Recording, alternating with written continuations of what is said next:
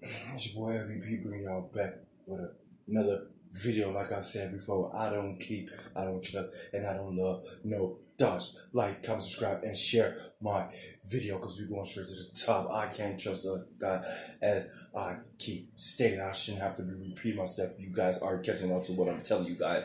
But anyways, you know, stay positive, like, subscribe, share my videos. Again, I have to have to keep reminding y'all, but y'all doing.